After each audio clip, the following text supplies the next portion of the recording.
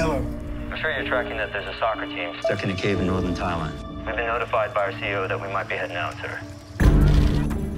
This is where the Wild Boars team entered the cave, and this is where we believe them to be there now.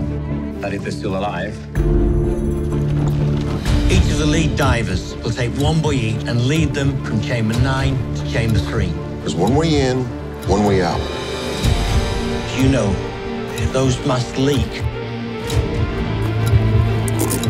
those boys will drown. I am live outside the Tham Luang Cave complex in the northern Thai province of Chiang Rai, where signs are mounting that something may have already begun. He doesn't want to take responsibility for your safety because of the water levels. Don't worry about us. We can take care of ourselves. We're gonna dive them out. They are coming! All right, gentlemen, fish on. and what are the odds? All these boys might make it home.